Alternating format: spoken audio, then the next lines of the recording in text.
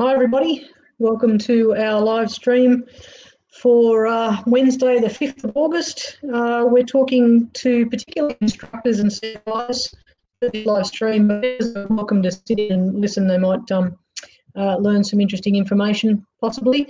And of course, as always with our live streams, this is going to be available YouTube um, video and a Facebook post as well. So if you don't get the to sit down right now, of course, we won't be offended if you go and watch it later. So uh, I'm Jill Bailey, Head of Operations for Recreational Aviation Australia, and with me is Neil, formerly Assistant Head of Flight Operations uh, and now Head of Training and Development. Neil? Good uh, evening, everyone. Thanks, Jill. So what we're going to talk about, there's, there's four main topics for today, and they are particularly relevant topics for instructors and CFIs. So when I use the term instructors, I'm basically including instructors, seniors, CFIs, pilot owners, ROCs, IT, anyone that actually does some form of training for our organisation, for our members. Um, we're going to be talking about the uh, COVID 19 extensions that have been issued by CASA and RAAUS. We're going to be talking about how to convert pilots. It's a big topic uh, on its own. We're going to be also talking about student training records, the importance of them, and the, the sorts of resources that are available. And then we're going to finish off um, with about the processes that are required for doing renewals as a or for certificate holders. So let's get into it. Um, from the point of view of the COVID extensions, we're now in August. So anyone whose flight review is due in August now has an automatic two-month extension on that flight review. If your um, if your uh, if your renewal was due up to the 31st of July, you had a three-month extension. So some of you may actually be um, um, some of you may actually be outside of that extension period, unfortunately. And I'm just being told there might be some issues with my connection. So if I am dropping out, um, it could well be that there's lots of people in Temora downloading Netflix at the moment. Um, I've just got a graphic up there now that uh, it was actually designed from Neil uh, talking about uh, if you're in the blue bar there, your, your uh, renewal was due anytime between 1st of March, 31st of July. You've got a three month extension. Um, now we're in August. Um, you're now only uh, able to apply for a two month extension if your flight review was due in August. And then from uh, April, uh, sorry, October to November, it's a one month extension. So those extensions apply automatically. There's nothing you have to do. However, if you are in those um, timeframes for extensions, you do need to actually go and do a flight review in order to, to fly in that period. If you go outside your uh, flight review period and the extension, well, there's not much we can do. We've had a chat to CASA about that, and um, there's not much in the way of extensions that we can go beyond that point with any of these uh, automatic extensions that have been applied for. So at that point, you just simply need to go and fly with an instructor.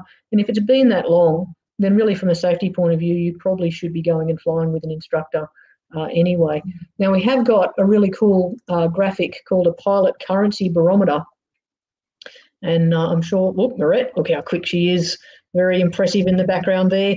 Uh, this is a resource on our COVID page, and it's actually designed for pilots to be able to work out what their currency is. You can see there's there's green, yellow, and red bars depending on the hours on the left and the number of landings you've done.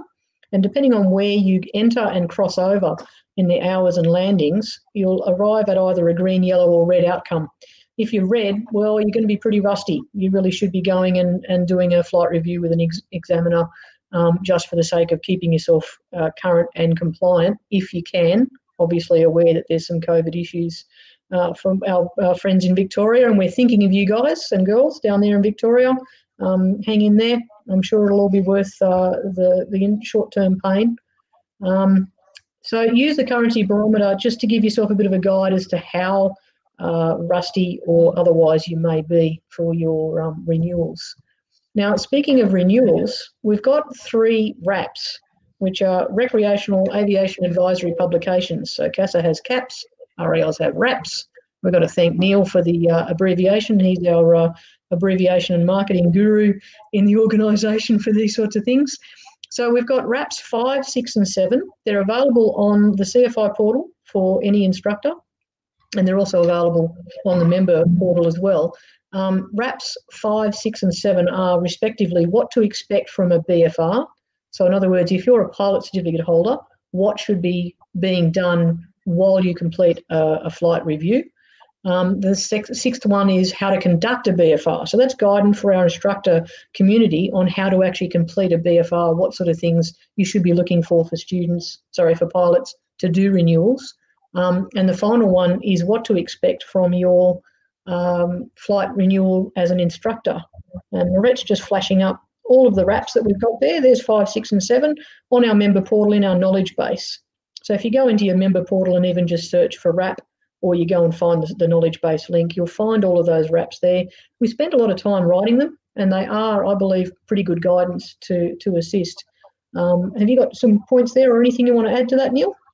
Yeah, look, it's again they are very good resources, and we'd encourage instructors, particularly for this uh, this live broadcast stream, to be familiar with what pilots are hopefully reading about their BFRs, so that when they conduct it as an instructor, they can marry the, their, their, requirements as instructors to those of the expectations of the pilot.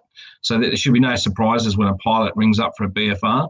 Um, they're welcome to, to download them themselves. We'd encourage instructors, if they've got access to it on their desktop, to even send it while they make the booking for the BFR so that at the time um, of the conduct of that flight review, there's no surprises for either the candidate or for the instructor. So it just it means that the expectations are set very clearly at the start of the of the process perfect. And that's the, the key thing because we do see a lot of misunderstandings, even at an instructor level, of what a flight review should consist of. And a flight review is uh, any process that someone is conducting to review your competency handling the aircraft.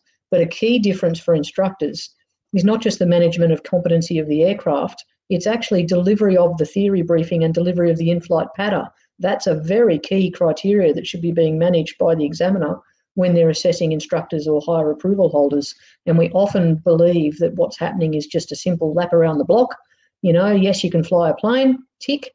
That's not actually the requirement for an instructor renewal. An instructor renewal is that plus the assessment of delivery of a ground briefing on a nominated subject and the actual flight assessment uh, of that delivery of, of that uh, subject.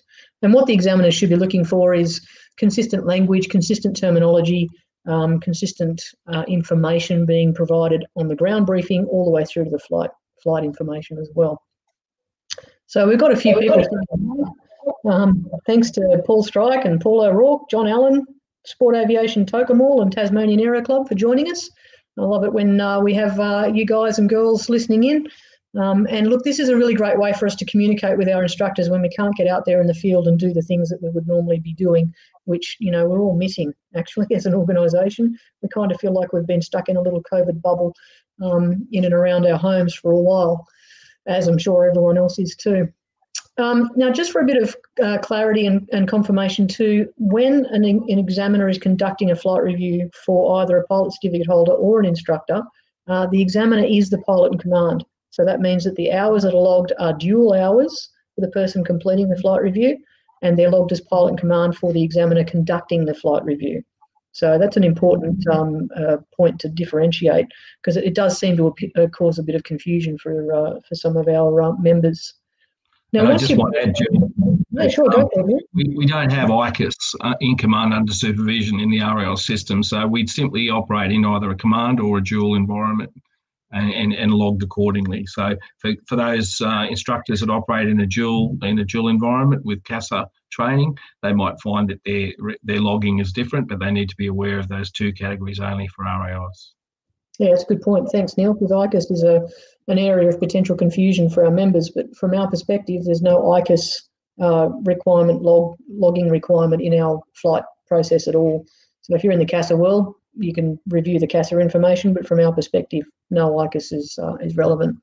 So if you're a pilot certificate holder and you've completed your flight review, if you're under an extension um, right now, um, it would actually still be processed as at the date that you've completed the flight review. So if your flight review was due on the 13th of March, you've been under a 90 day extension, you got to get to an ex- examiner on the 13th of July and complete your flight review as a pilot certificate holder, that's the date that your flight review has been completed at, and that will be a, a two year anniversary uh, for the next renewal. So it will shift your date of your BFR if you've done it under an extension. However, for our examiners, in order to keep it as a, a consistent date, we actually, if it's done 90 days prior to the renewal date or a 90 day extension during that 90 day after the, the uh, renewal date, it's processed at the renewal date. It stays fixed. So if your renewal is due on the 16th of March as an instructor and you do it up to 90 days prior to that, it will still be processed as at the 16th of March. And if you do it under our COVID extensions anytime in the 90 days after that date, it will still be processed as at the 16th of March, just to keep that a consistent date for our examiners and instructors. We think that's uh, a little a little more helpful. Um, so moving on from there, uh, unless there's any specific questions that Marette's got from anyone on that, I'll move on to the next topic. So it's a it's a big topic, converting pilots.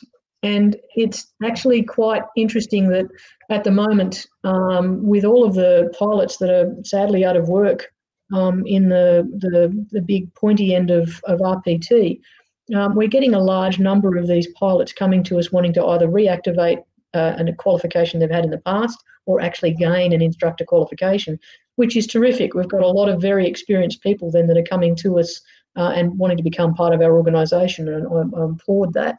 Um, but obviously, we've got to manage the expectations of those people. So we actually wrote RAP 11, uh, and we wrote it a while ago. Um, and Marette's going to pop that up. She's so quick. Converting pilots. So let's talk first off about uh, the conversion of a pilot to a pilot certificate. So someone's come to us from the CASA world, from the GFA world, from the SAFA world, even from ASRA, and they have hours in an aircraft. Um, section 2.13 of your ops manual, we'll see how quick Marette is, actually has very clear guidance. Oh, nice work, thank you. In paragraph one and two, about what hours we will accept. So it's any dual and pilot and command hours gained in obtaining and maintaining a CASA or other organisations, aeroplane, helicopter, gyroplane, We've got airship in there. I'm not so convinced that that's necessarily relevant, but it's in there. Defence Force qualifications and time, GFA gliding um, ratings or approvals, um, and any of those information that's in that um, section there will be able to be used towards gaining the RAAus pilot certificate. So you don't have to get that person to do 20 hours as you would if they were an ab initio candidate. Um, however, you have to make sure they're competent. So that's where getting the syllabus out, and I haven't given Marette a link to that, so don't worry about that, Marette. Um, the syllabus will be the point of reference that you'll use, and I suggest you actually reference with the, the candidate to show them what it is they need to demonstrate. So, Neil, that's right up your alley for the training and development uh, role. Do you want to have a quick chat about what sort of areas you might think in the syllabus world that someone might need to be uh, very aware of when converting someone?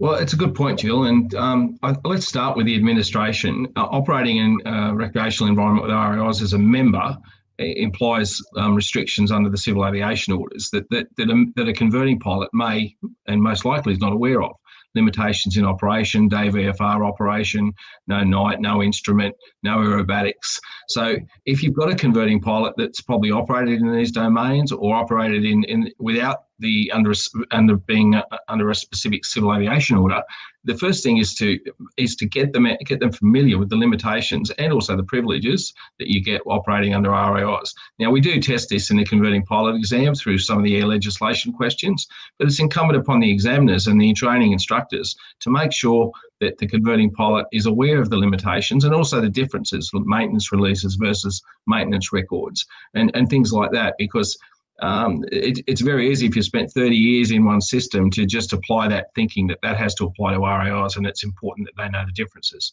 Once we've got to that, we then get up and get the joy of flying underway. And the expectation uh, for an experienced pilot who's got a lot of broad experience in defence or heavier aircraft is that they're possibly toy aeroplanes. And I think we're all seeing that the ultralight um, landscape changed a lot over the last 20, 30 years and we're seeing very complex aircraft. Um, I've actually had converting applicants that are A320, A330 captains telling me that some of the displays they see with the Dynons and Garmons that are in Garmins that are in RAAus aircraft are more complex and more feature rich than what they have on their FMCs. So uh, spending some time in, in the unique um, avionics differences and some of the technologies that we have, but then focusing on the low inertia envelope and, and the and the elements that relate to loss of control, particularly for that converting pilot. They may or may not have great stick and rudder skills. and they may or may not have done any dead reckoning in terms of navigation. While we can accept the endorsement recognition, it's important, as Jill mentioned before, that our that the pilots converting are assured by the exam to the examiner that they're competent in those exercises. I had a very experienced um, a Qantas captain, uh, a world record holder in, in, in, in, other disciplines as well. And we pulled out a, a, VNC one day and he said, Look, I don't use these charts. We just, we're operating up the flight levels. So the last time he pulled out a VNC or a VTC was probably 20 years ago. So it's, it's, there is this five hour requirement. And we'd encourage examiners and instructors to utilise that hour time or four hours and, and certainly the one hour solo to actually em- embrace some of the differences and also some of those skills that may have been not not sharpened up or not kept current over the last 20, 30 years of that converting pilot's career. So that's probably just a few uh, a few touch points that talk about admin, operation, and then the training challenges. Yeah, I've got a couple of war stories too. Uh, I think if we probably opened it up, we'd probably get some really good ones uh, from the comments from people watching. But uh, from the perspective of converting a pilot who was quite experienced, I think in 737s back in the day, we came in to do a crosswind uh, landing and he did not put the wing down into wind. Because if you do that in a 737 you'll scrape the engine nacelle on the ground and you'll get into big trouble. So we drifted quite radically off the edge of the runway. Um, so once we we embraced the concept of making sure that our light aircraft don't get drifted by dropping the wing into wind uh, he was managing that aircraft really well. But it caught me a little by surprise and i suspect it caught him a bit by surprise as well. Um, now, one of the other ones that's quite interesting to convert is uh, is conversion of glider pilots. So one of the, the key things there is that they are absolutely aces at managing engine failures after takeoff, engine failures in the circuit, practice forced landings, and they're generally quite good keeping the aircraft balanced. However, they've never taxied an aircraft. They've never uh, conducted a go around. They've never considered the effect of power managing engine um, management and they haven't ever tried to maintain constant height, constant heading for a navigation exercise because they're essentially thermaling and then setting course on a constant descent uh, a lot of the time. So uh, back in the day when I was a CFI uh, here in Temora, we converted quite a few glider pilots. It was great fun, but I sat down um, at one stage and I noted 30 plus differences in what a glider pilot would manage in a gliding aircraft, sailplane, versus what would happen in a powered aircraft. So um, that was quite a lesson for me to not make assumptions. And I think that's part of the challenge for CFIs is to not to assume simply because someone's come from uh, a very qualified background that they are going to manage the aircraft in all phases. So you really do have to manage and assess in all phases, including navigation, um, particularly for, um, as I said, for uh, GFA conversions they haven't tried to simply do time over distance in the same way that we would in a powered aircraft. You got any war stories you want to add? Oh, just, just to add to your um, to your thread on the glider pilots. Um, uh, PFLs have always been interesting when I've done uh, when I've converted glider pilots because they come in uh, on final and go to reach for the blue hand or for the dive brakes and realise that they can't get rid of that height that quickly. And uh, so, yeah, they, they, it's just that operational, um, almost muscle memory in that case. You know, I actually had somebody go for the air brakes. You know, and I said, no, you've got no air brakes, and, you, and you're at the limit, of going to be at the limit of side slip. So what are we going to do? Um, so yeah, look, uh, but it's it's. I think you know for some of our instructors and examiners converting these pilots, whether they be rotorcraft or whether they be gliders or weight shift um, in uh, weight shift pilots, it's important to sort of dip your head a little bit into their understanding of their operations because it'll give you a much better um, basis on which to focus um, the training elements that you need to focus on in that conversion process. Um, Jill was a classic case when we got her up in a trike. Um, she we, she suffered the the typical, and it wasn't. It doesn't always reveal itself. Some of these things, these primacies don't come out until we actually load somebody up. Where the push pull, you know, um, bar in bar out type situation was almost reversed, as some people think um, to the operation. But uh, you know, these, it's important that we actually understand that because it helps us as examiners focus and give the maximum value to the converting pilot, so that they can become that good rounded pilot across a number of different regimes. Yeah, that was a, a really interesting exercise, I encourage anyone to do some uh, flights in a microlight because it is a it's it's like a musician learning a different instrument. You know the basics, but it's not the same. So uh, it was a really good experience, um, quite challenging but good fun. And a big shout out to Mark Gentry for his help up there at Caboolture. Thanks, Mark. Um, I got a comment here from Paul O'Rourke, and I, I, think you're right, Paul. It was our next point. Paul said, I think you need to focus attention on professionals converting to instructor in areas where there is little training going on. So I'm assuming from that call you're talking about people who have been at the pointy end of a, of a, uh, a, large aircraft with lots of people behind them and then moving into an instructing world where they're flying with someone who is a complete ab initio candidate um, and then managing uh, that person, as in the instructor, uh, managing that candidate. Um, and we actually have some really good discussions with uh, with a lot of our CFIs who convert across very experienced military pilots um, who have not necessarily trained ab initio candidates. They have converted people who are qualified pilots from a CT4 to a PC9, as an example, or onto an F111 or something very exciting.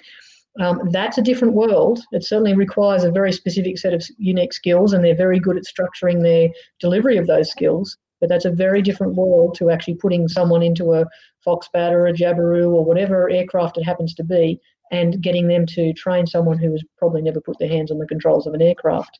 So we do um, we do have some issues about perhaps having those people um, supervised uh, as an instructor, but there is an important reason for that, and that is to make sure that they are managing handling that ab initio candidate, um, even though they've got maybe thousands of hours as a pilot in command in something bigger and faster.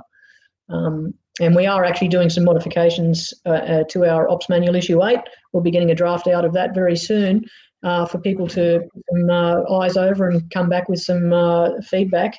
Uh, but part of that change will be a recognition of the fact that we might not need to have that candidate train three candidates and gain 75 hours instructing to be able to be upgraded to a senior. So there's some some revisions on that that we're planning, which should help that, and particularly for our military converting pilots um, with all of the experience that they've got. Uh, the government spent quite a few hundred thousand dollars training those pilots. Um, we just want to make it uh, safe, but we also want to recognise their uh, their qualifications as well. Um, so uh, yeah, looks like I've hit the right button there with uh, Paul. He's happy with that. Um, and g'day, Peter Wilson. Thanks for uh, listening in. So uh, when it comes to basically coming to the actual conversion process, I, I, think there's two critical steps that any of our instructors should be looking at. First one is to just read section 2.13. It's it's laid out so that paragraphs one, two, three, and four apply to whatever conversion process. When you go from five to seven, um, particularly for the RPC. So uh, if Rhett can scroll down a little bit to paragraph five and seven on there, uh, and I'm sure everyone's got their own copies of this uh, document. There it is. So in order to get a pilot certificate, no matter what qualifications we're talking about, they have to be a financial member of RAAus. Now that sounds like it should be a no-brainer, but unfortunately we have had some converting pilots come through who haven't been a member of RAAus which means that the, the CFI has sent that person solo. Um, that person is now in breach of the ops manual because they're not a member.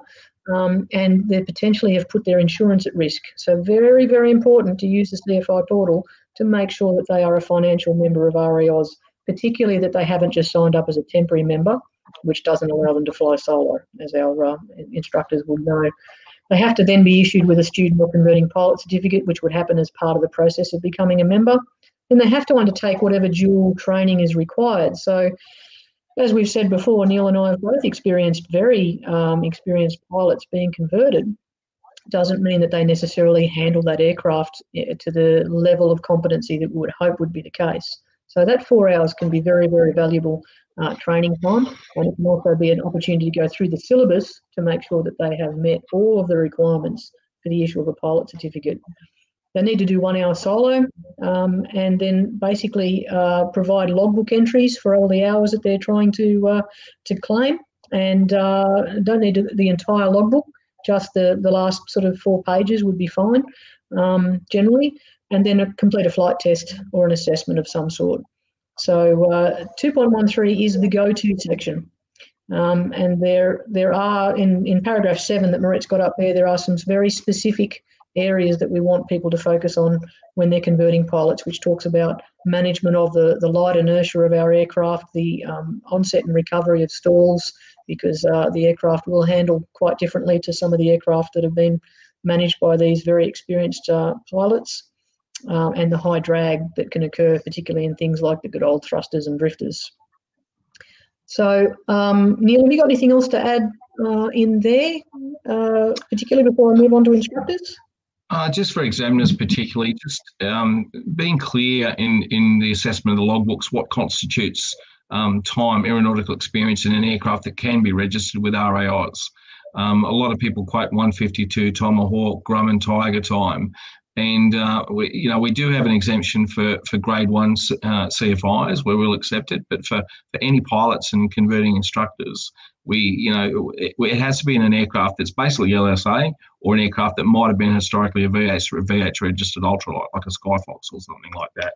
So it's it's important we do get a lot of calls on that, but we often get a lot of applications where when we look at it and we see the logbook entries, they don't correlate to the to the to the uh, to the five hours. So they might have done two hours in total, assuming that they've had like five or six hours in in in what they thought were ultralight aircraft, but they're not. So it can only be in an aircraft if we're going to going to minimise below that five hours and just work on the competency equation. It's got to be in an aircraft that can be registered with RAAus. Which means sub 600 kilos. Yeah, essentially. That's the very clear, um, easy way to manage whether that Tomahawk or 152 fits that category because they, they don't. They're not a 600 kilo max takeoff weight aircraft. Um, however, if they've been flying a Piper Cub um, and it's been VH registered, happy days. Uh, very happy to to accept that time towards the uh, minimum requirements, and then it's just a matter of just assessing their competence at that time. So finishing off on paragraph uh, 2.13, the paragraphs uh, beyond that point, when we get to uh, 9, 10, and 11, as an example, are the paragraphs that are relevant for our instructors uh, converting across someone who has an instructor rating. Thanks, Moret. You are all over this. Um, so, again, we will accept uh, a qualification from another organisation. And basically, in, in 9B, there is uh, 9B, C, and D, there are a number of pathways so 9A is the simple RAAus way. If you have had 100 hours PIC um, in an RAAus, excuse me, Group A or B aircraft, great. Go and do an instructor course and and meet all those requirements. You'll be issued with an RAAus instructor rating. If you've got some other experience in other aircraft, um, then very clearly in B, it says you need 150 hours total aeronautical experience. So that's in whatever form of aviation you've done and then uh, 75 hours pilot command in a recognised aircraft of the same group. So that's the sub 600 kilo we're talking about. And there is a provision um, that allows us to, to reduce that to 25 hours on application. So we're not going to make you go and do 75 hours if you've got sufficient experience in something that um, we're happy that uh, will meet the criteria. In paragraph C, if you've got a recognised qualification as an instructor, um, and you've actually done ab initio instructing, again, it's a, a, very simple five hours PIC in an RAAus aircraft. Um, so that's not too hard to uh, to amass, particularly if you're familiarising yourself with that category of aircraft to start instructing. You want to go out and do some hours in the aircraft to really feel competent and confident in it. And paragraph D, if you've got an instructor rating that's brand new and you've never actually instructed, then there there are a slightly different amount of requirements. Um, including 10 hours PIC in an RAAus aircraft. So I think those pathways are reasonably clear. Um, it shouldn't uh, cause too much issue. But again, we encourage CFIs to call us, but we really would appreciate it if you read through those paragraphs and see if you can find the answer there first. And if you've got one of those challenging ones, and I do get those challenging questions from people on occasions, Neil and I sometimes get our heads together and chew on it for you know five ten minutes to try and work out what the appropriate processes are. So it's not always easy. Um, but if you can have a look at those sections in the 2.13 um, converting pilot requirements, it will make life a bit easier for all of us, I think, and you might find the answer. If you can't find the answer there, check out RAP 11 because in RAP 11 on some of the later pages, there's a heap of scenarios. So we've actually come up with some real world examples of I'm a pilot, I'm an instructor, I've got military experience, I've got gliding experience, blah, blah, blah. So about page five, Moret, if you scroll down on that document, you'll see a heap of scenarios. Um, there we go, a little bit further down. There we go.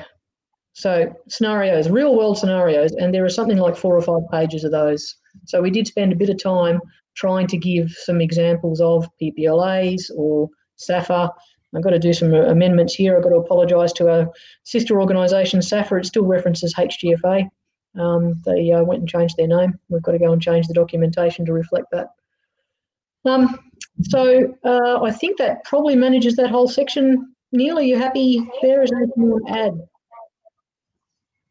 Uh, no, I think look. It's always a, a, very customised area, and and I think as you pointed as you pointed out, there are always unique situations.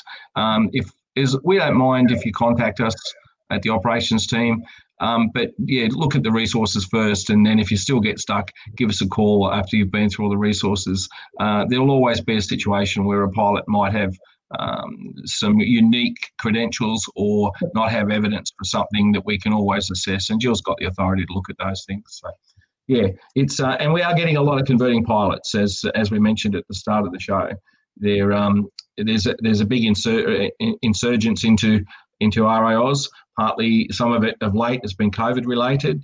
Um, we do get a lot of grade instructors that have gone through their grade three commercial FIRs and haven't instructed an hour in Terra, and um, they're looking for work. And they, they, they, they, we welcome them into the RAL system, but we need to make sure that, that, that they're going to apply the level of competency in management of the aircraft with a student on board, I might add, that, that we need to get safe flight outcomes and, and good training outcomes.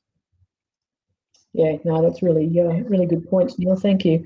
And got a bit, bit of a shout out there. Ross Costanzo from Mid Coast Flying is watching. Rob Glenn, our Aero Club. Um, Wisey from uh, Dubbo uh, with uh, Dan Compton. G'day, guys. Thanks for joining us. Hey, um, guys. Um, the last thing we want to talk about is is a, it. It can be a very boring subject, but it's really, really important. Student training records. So, Neil, maybe do you want to start off talking a little bit about what we're looking for, and Marette might um, pop up. Thank you. The CFI portal where uh, the uh, GSP is available as an Excel spreadsheet and a PDF to download. And uh, maybe you can pop up that graphic of the GSP while Neil gives a bit of a, an overview of what we're looking for with student records. Yeah, thanks, Jill. Um, look, the, the, student training record is a requirement. It's it's an actually mandatory requirement in the operations manual for all flight training organisations to maintain a student training record um, and to keep that record uh, or a copy of such for at least five years. And when requested by another flight school, if the student was to move, upon written request, that they should provide a copy of that training record um, completely to another school. So that's just this heads up about the fact that we have to have a training record. Um, the training record has got to have a number of key elements that are outlined in the operations manual. And the generic student progress sheet is a, a document that's been built up by previous operations managers. And Jill and, uh, and Zane Tully did a lot of work in this area. And I think it even goes back to Mick Poole. Uh, we, it's, it's an iteration that we keep um, adapting but it's served us well for the last five years. And I would say that roughly 25 to 30% of our flight schools are using the generic student progress sheet as the standard document. Some have modified it slightly, but essentially the, um, the summary page and the elements in it are a great reference point for any instructor or CFI to pick up and see where a student's at with the key elements that we need to cover. I think the first thing we need to point out is that the syllabus of flight training um, goes way back to 1939, and the sequence of delivery is important, and and we and we grade that out in both the syllabus and the flight training record, so that the student builds on skills from simple to complex and from known to unknown in a way that actually immerses them in a in a, in a very abbreviated, let's say 20 hours training system. So to shortcut, change around, put people in circuits before they've actually built a good understanding of those, what we call those core six lessons, right up to stalling and uh, slow speed management, uh, is probably not doing the, student a great deal of uh, service. And it's important that we follow that sequence of delivery. Uh, the next thing is, is that we need to make sure that throughout all the sequence of development for a student that they're competent to a standard. Now, the standards are referenced in the syllabus of flight training. For solo, it's standard three, which says under supervised and controlled circumstances, a student pilot can uh, can make decisions um, where, where the parameters have been managed by a supervising instructor or CFI.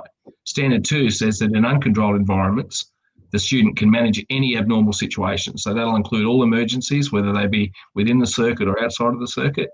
And so there is a clear difference in how we assess that. And we use the flight tolerances as the basic metrics that's in the flight instructor manual, which will be integrated into the syllabus.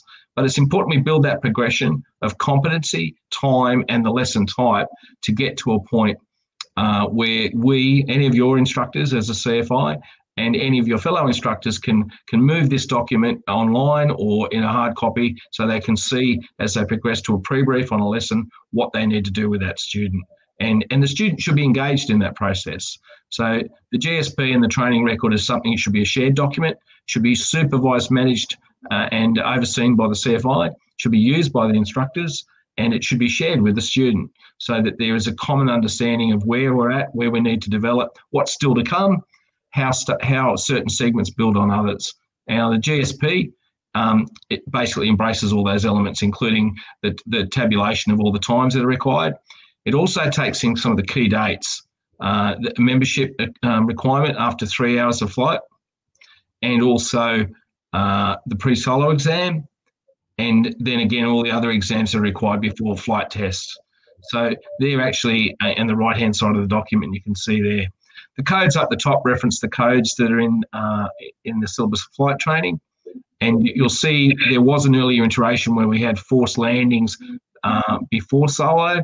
That's been now moved in the latest version. So if you've if you've archived an old version, we've put forced landings as opposed to engine failures in circuit after solo, given that that's an area, a training area solo requirement that they can actually perform a forced landing, PFL, and a precautionary search if necessary. So that's basically an overview. We've got a very good video that Jill um, and I put together. Jill's narrated it uh, on on how to actually work through a working example of the GSP. We're not saying to schools you must use this, but where you have an alternate system, the elements that are in the GSP should be referenced uh, that being the sequence of flight lessons, the date time recording of the instructors, the progressive hours, and of course the competencies, and also that key assurance that certain requirements that are uh, in the ops manual are met, such as pre-solo exams and medical requirements where necessary. Awesome, thanks Neil. That was a really good summary. Um, look, in broad terms, just to give some assurance to our CFIs, and I can see there's a few that have put some comments up that they're using the GSP or a variety or variation thereof. There's any number of student training record systems out there. And obviously, for those schools that are operating in the dual Part 61 or 141 environment, the CASA requirements will be very um, acceptable to RAAUS, other than the fact that the um, competencies are exactly reversed. Um, but we are quite happy to to accept that. One of the key things, um, two key points I wanted to put forward about that the generic student progress record has been um, tested, I guess that's the correct word, tested in a coronial environment.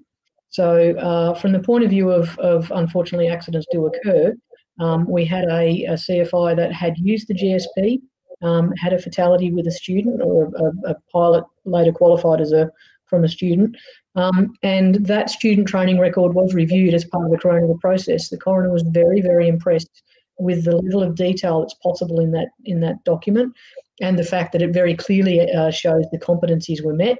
But one of the key areas to be aware of um, in the comment section, particularly, is if you identify a deficiency, and a typical one would be insufficient rudder to keep the aircraft balanced during turns or on climb out or wherever it happens to be. If you discover there's a deficiency and record it, um, you must uh, obviously correct that deficiency and record the deficiency is corrected. So there was quite a, interesting um, accident that Neil investigated, which wasn't a fatality. Uh, the pilot managed to uh, land the aircraft on a soccer field from from memory. But when we actually went through the student record at the time, uh, all the way through the record was a note that the student wasn't keeping it in balance. The aircraft was not kept balanced uh, during climb out, during turns. The rudder was not being used effectively. And that actually turned out to be a factor in the in- investigation and the, the reason for why that accident occurred. And Neil, without going into specifics, maybe you could give a bit of an overview of, of that investigation just to give some context for why it's important to identify yeah. and correct deficiencies. Thanks, Jill. Yeah, look, a, a Swiss cheese model as, as it normally is. Um, there was a fuel management plan, not a fuel checking process that was robust in first place. There was minimal fuel on board, but enough for the flight. Um, unbalanced flight with a passenger on board taking photos, doing a lot of turning, led to um, led to unporting of a fuel tank, which then, because it was sustained, um, meant the catch tank didn't have five litres of fuel in it, and the thing just starved. Uh, and um, yeah, and it was a goal for it was a goal for the white team at uh, Runcorn Golf Course, if I recall. But yeah, um, and interesting because there was a lot of innuendo that it was an engine failure, and of course we worked out it was fuel starvation, but it was the root cause of of balance management uh, combined with some um, minimum fuel requirements that the manufacturer later in, added in terms of information in their POH. But uh, yeah, look, uh, rudder management and, and balance management are key issues in the training syllabus. Um, different aircraft, I know a Eurofox, so I get every time I get in a Eurofox, I've got to recalibrate my feet um, compared to some other aircraft.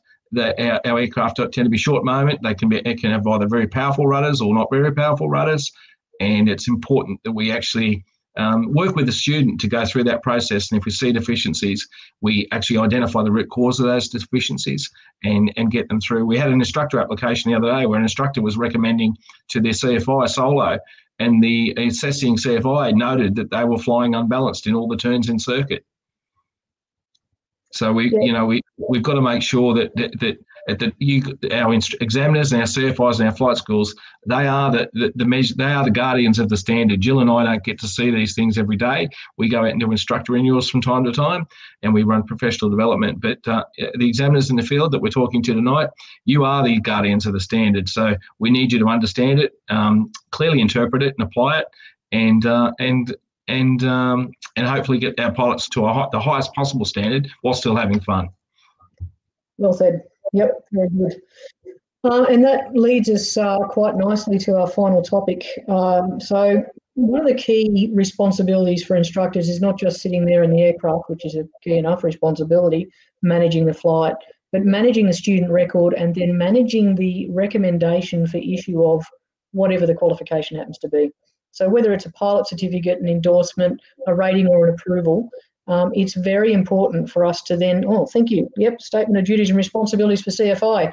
Paragraph four, uh, paragraph five. No, uh, it's there somewhere. In 1.06, actually, um, uh, and it's paragraph uh, six.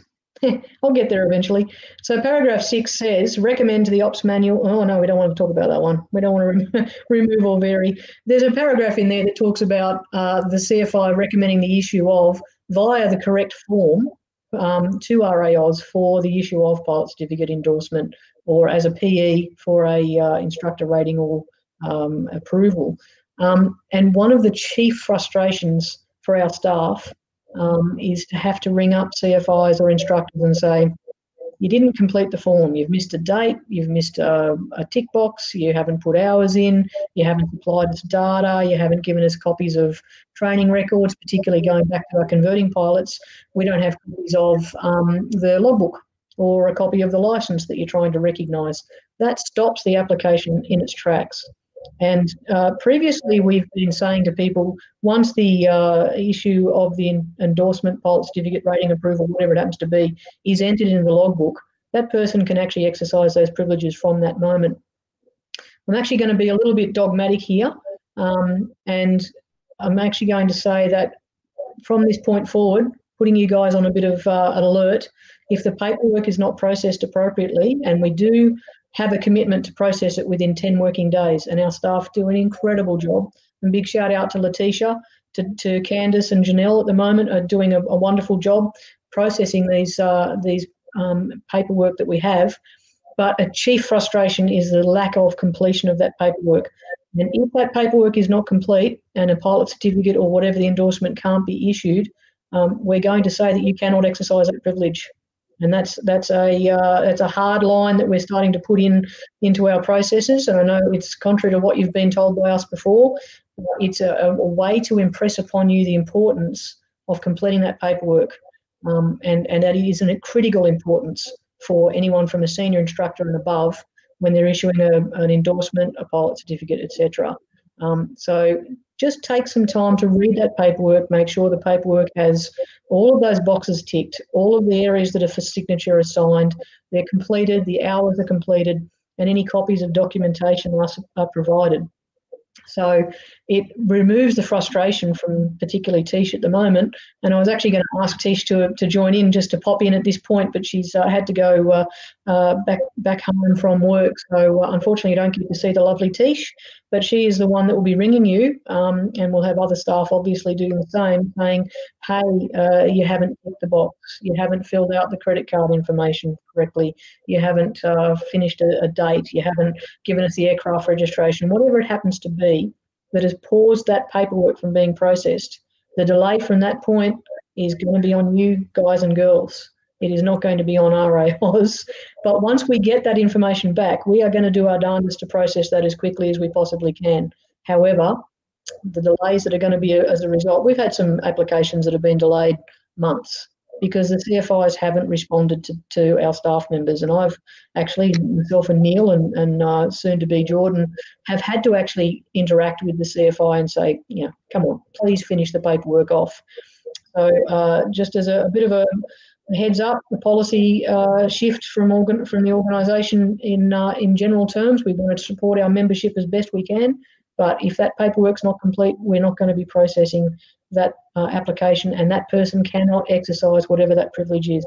Whether it's a passenger endorsement and they've got their family lined up to go flying that weekend, sorry, it's not going to happen until we issue that uh, that paperwork. Um, and the easiest way to know that's been done there's a number of ways. This is the even better part. First off, the staff have a process to email that person the certificate. So once their pilot certificate has been processed or their instructor rating or whatever, they will get an email copy of their new qualification um, via email, and uh, it, it's it's instantaneous once it's processed by the organisation. You can check in the CFI portal. That's the wonderful resource we've got there for all instructors, all 480 plus instructors in the organisation uh, the CFI portal. There it is. Um, if you don't have a login, contact the office. We'll give you a login. If your login's not working, contact the office. Uh, you can check the membership qualifications, membership um, currency. You can check their BFR date. You can check the aircraft registration. You can do everything you need to do from a compliance point of view in that CFI portal. And then, thank you, Marette, in my mind, the members portal, there is uh, the ability for that person to actually check that they have all the qualifications they should have um, because occasionally there may be a, an endorsement that's not uh, processed for some reason. So it's always worth referring that applicant to the members portal and say, go and check out your qualifications and make sure you've got everything you should have. and then finally, I should put a plug in for the members app because we uh, we don't talk enough about that. But the members app, which I'm just going to log into, should have had pre-prepared. Um, here's my pilot certificate. It's not going to necessarily be easy to read, but there it is on my phone with all the information that is relevant to my uh, pilot certificate information. Uh, here's my aircraft registration information. So everything that I need to know, uh, it's not very easy to read, sorry about that. There's my, uh, there's my aircraft registration. So every aircraft that is registered to a member uh, is on that member's app. In the home page, there's a heap of um, uh, information. There's a uh, unmanned aircraft flying in Wide Bay. Uh, that was a uh, information about our Mad Hall live stream. Um, so there's a whole heap of information in there, and the, the members and instructors and CFIs can use that as well. If you don't have it yet, go to the App Store, download it. Got Android and Apple variations. Um, uh, I've been talking a lot, Neil. Is there anything I've missed? Anything you want to uh, no, I, I, I, think back to the training, um, point of view, it's important to have a pre-brief and a debrief with the student so that as you go through a lesson element, there's there's clarity as to whether or not the student's going to progress through to the next lesson. If they're not, what areas need to be worked on that are fundamental to moving on to that next lesson. Um, we often see I get feedback quite a bit from students, and uh, also I get uh, and it's great. I get calls from instructors saying I'm having trouble with the student. We're in circuits, you know, we're up to eight or nine or ten hours in circuits, and they're having trouble landing, or we're and I think you eloquently put it that we stall an aeroplane every time we land. And so the stalling exercise ties directly to the landing exercise. So to spend more time and get that visualization, that control authority feel, and the, and the secondary and further effect understanding at height, at height actually aids you in the landing process and can sometimes reduce some of that circuit time. And students, as we all know, get very dejected if they spend hours and hours and hours digging digging trenches around the circuit. Uh, it's great practice. I don't mind it. I love doing circuits, but for a student, they're trying to progress through, and I think if we as examiners can find those key areas where we know that they're going to get value and they're going to improve, like balance turning, good referencing before turning, good speed management with attitude, if they get those things sorted out and we as examiners pick those key points up, then we actually help the student progress through their flying journey and, and get that get that magic fist, fist pump in the air when they go solo or get the pilot certificate. So it's an awesome feeling. I can still remember my first solo, um, being as scared as hell, but also very excited, and the feeling of uh, being on downwind and looking across at that empty seat and realizing it was on me to get that skybox back on the ground. It was a very cool moment, and it is a very amazing achievement for anyone. And that's one of the things we need to remember beyond all of these discussions about making sure the paperwork's right and the training records recorded. We are doing some amazing things when we teach people to fly, um, and it's it's a joy to be able to do that. So I guess uh, a couple of shout outs there. We've got a comment from Rob Glenn. The CFI portal's great. Thanks, Rob. Yep, we think it's pretty darn good. It's got a whole heap of resources we haven't talked about for a while as well. If you haven't gone into the CFI portal, go and check out the CFI resources. Let's see how quick we're ready to get that up, maybe. Thank you. Um, and from Ken Jalef down there in, in Victoria. Stay safe. G'day. Um, thanks for the feedback. Um, I, I, suppose we throw this open to questions now. If there's anything that's uh, that's a burning question from an instructor or, or even a member, um, there's some topics obviously that we uh, will re- refer to uh, later streams, and, and we've got some great stuff happening with uh, J- uh, Jared uh, in the airworthiness area um, for aircraft, etc. He and Darren, uh, the duo there, the dynamic duo, do a wonderful job in the airworthiness area. We'll be doing another live stream with them soon. Um, Michael and Mick, um, our other dynamic duo, the CEO and the chair, do a lot of live streaming just to give some member information. So, look, this is a great way for us to interact with you guys and girls. Um, love it when you give us questions. Uh, there's nothing there other than just uh, um, some good feedback and really appreciate the fact that you guys and girls have logged in and, and are watching. Um, John uh, Benson, can an instructor access the CFI portal?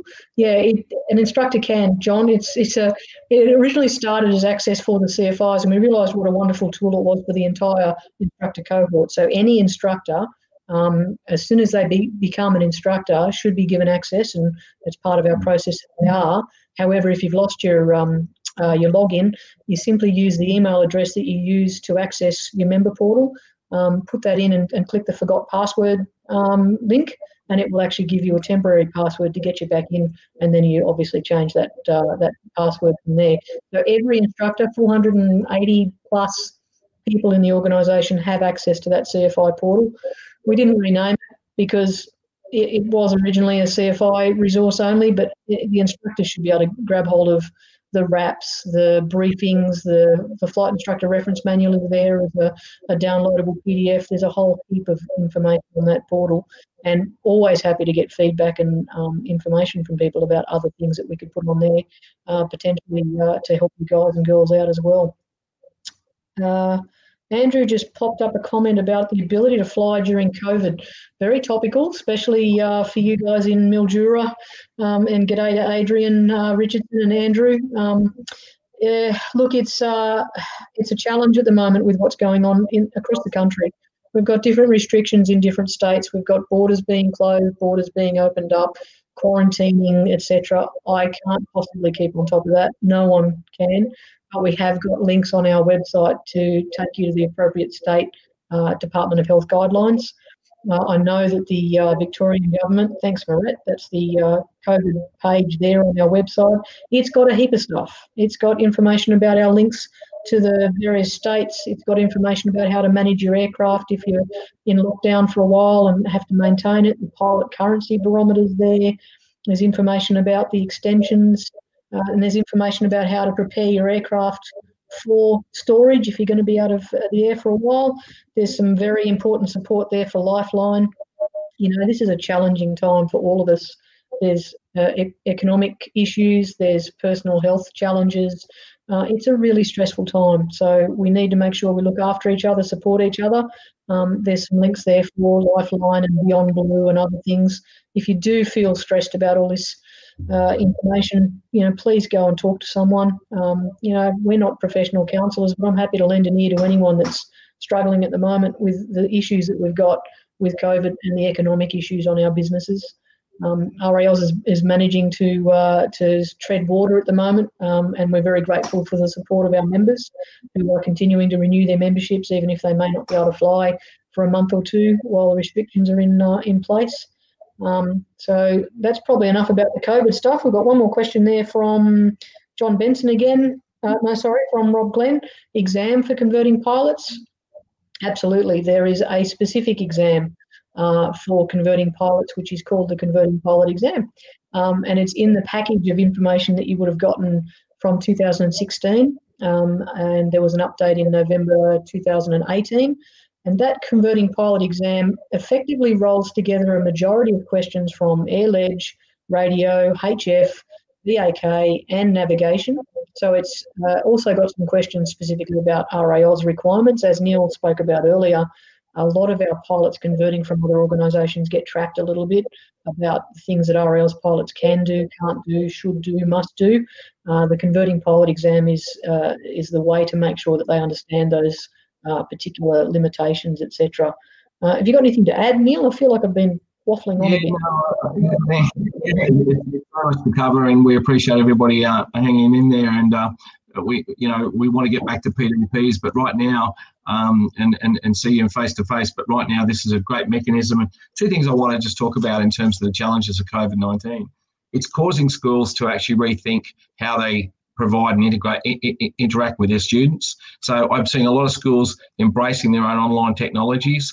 RAAus is racing to get our exams through a, uh, an arrangement with Bob Tait online, so we can pull all our exams online. So you'll be able to, uh, we'll get away from this paper-based exams where we can and we'll be able to get immediate marking and we won't have all these um, these archaic issues that have served us well, but we need to move forward. But I'm already seeing schools that are adopting that themselves. We've certainly um, got a lot of schools that, that are actually looking at video presentations and video briefings. We're seeing a lot of flight sequences being demonstrated.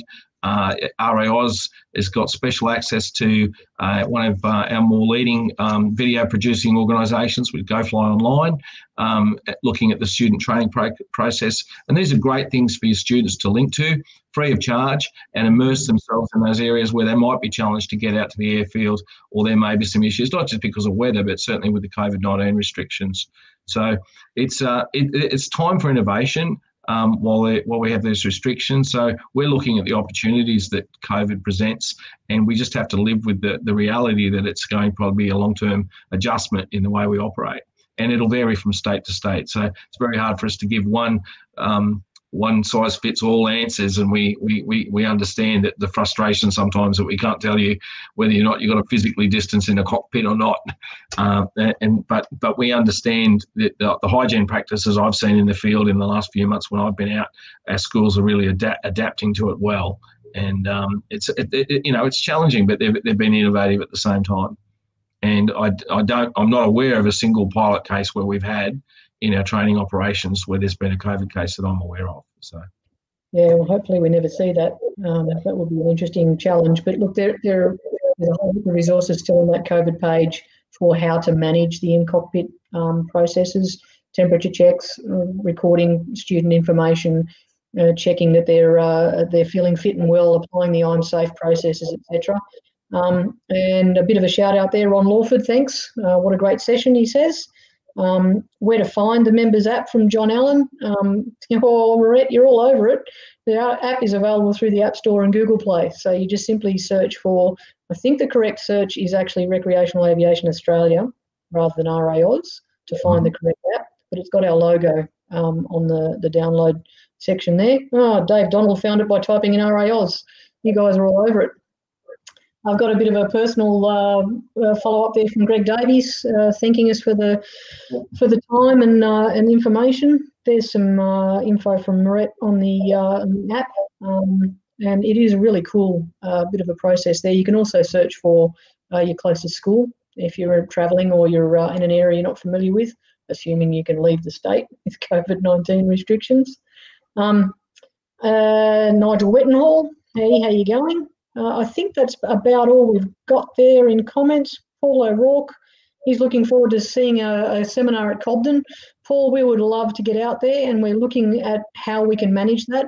Um, it's just with the state of flux that we're in, we haven't uh, looked at committing to any uh, seminars, etc.